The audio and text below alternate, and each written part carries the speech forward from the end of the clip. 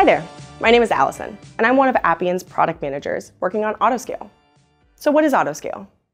In simple terms, it's a new, separately licensed service in Appian Cloud that dynamically increases process execution capacity based on demand and can handle millions of process instances per hour. It's specifically designed for highly automated processes that need to handle fluctuating workloads and do it fast. These are often called high throughput processes. Also, it's important to remember that Autoscale is primarily designed for unattended processes. This means that the processes run without human involvement, allowing them to finish quickly. Now that you know what Autoscale does, let's look at some real-world examples. We'll explore the value it brings and then wrap up with some key best practices to get the most out of it.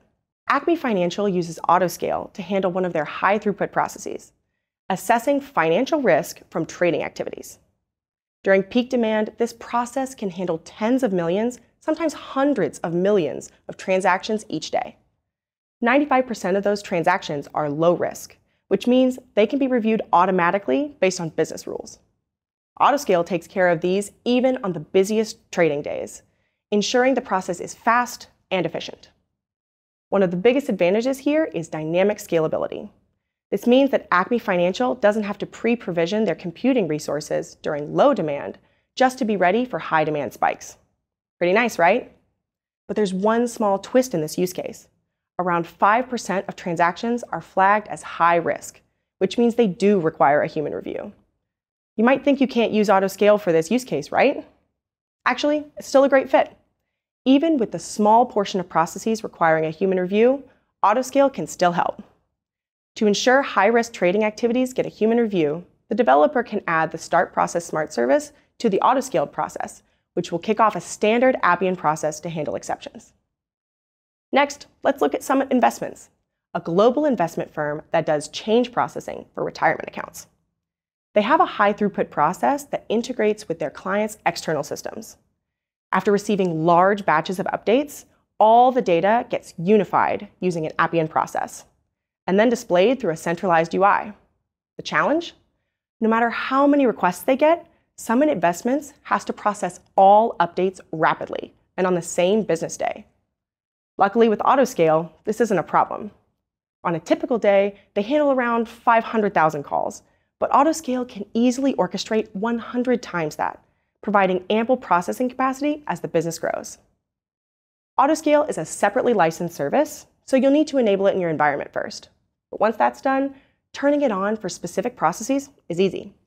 Simply open the desired process model, go to Properties, and select the Autoscale checkbox.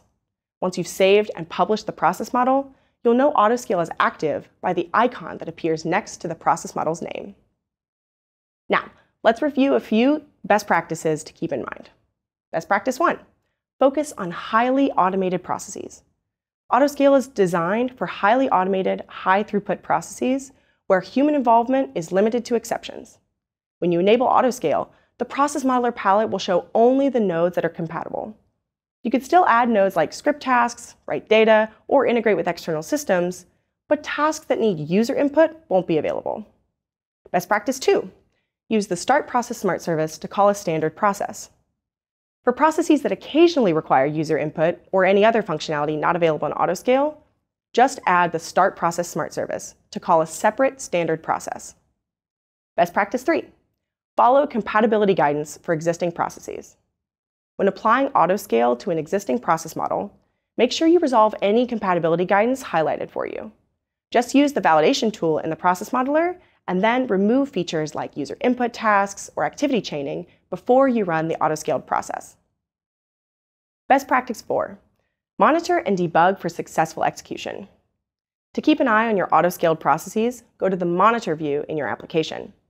Under the Autoscaled Process Activity tab, you'll be able to track key metrics and review any errors. For more information, check out the Appian documentation. Let's recap. Autoscale is a new, separately licensed service in Appian Cloud that supports highly automated, high throughput processes with fluctuating demand. With Autoscale, you can develop processes that can scale to meet changing business needs. Rely on Appian to handle fluctuating loads without pre-provisioning resources. optimize your use of computing resources and minimize manual intervention. Common use cases include orchestrating external integrations and making rule-driven decisions. And the key benefits of Autoscale are high performance, dynamic scalability, and resource efficiency. And once enabled, follow Appian's compatibility guidance and use the monitor view to track autoscaled processes. Thanks for watching.